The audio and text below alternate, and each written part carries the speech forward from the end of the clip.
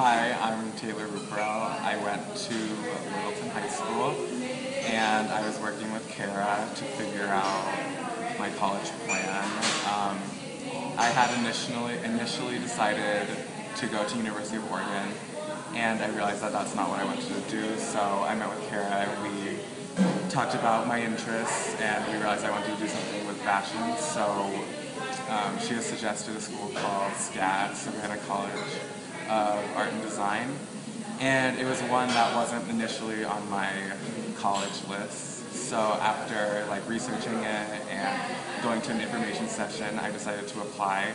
And then I got in and I ended up going like right away. So yeah. Um, so I just finished my first quarter at SCAD and I really like it. Um, I'm studying fashion marketing